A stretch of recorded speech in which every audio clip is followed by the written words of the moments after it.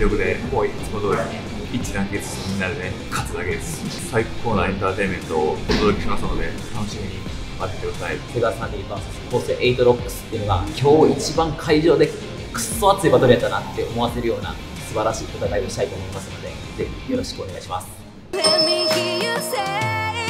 前シーズン優勝された高専さんということで絶対勝ちます。今シーズンこそ3度目の正直で完全優勝目指しています。細かい部分も揃えてきてるのが僕らの強みだと思っているのでそこはもう変わらず尖らせていきたいなと思ってます。圧倒的な王者感をちょっと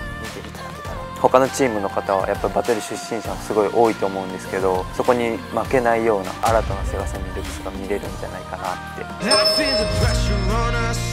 バトル強くなりましたよ。間違いなくバトルへのこの意識的な部分っていうのはガチッとハマったな。今シーズンのテーマ。優勝したら倒したいっていうなんかそういう注目を浴びると思うんで。どこのプレッシャーに負けず自分らは自分ららしくやっていくだけだなって思うしもちろんそこを力に変えて2連覇取りたいなだいぶ距離が近いです。両スピンさんが威嚇。それに微動だにしない滝さんです。